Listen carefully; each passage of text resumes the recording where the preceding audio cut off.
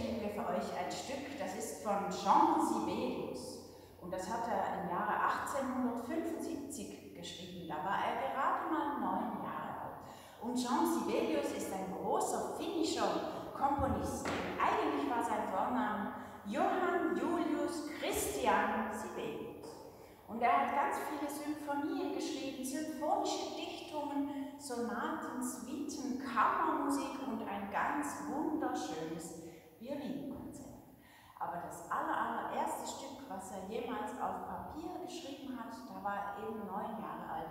Und das spielen wir jetzt für euch. Das ist geschrieben für Violine und Violoncello. Und das ist ganz ohne Bogen. Da spielen wir nur mit der rechten Hand Pizzicato, das heißt gezupft.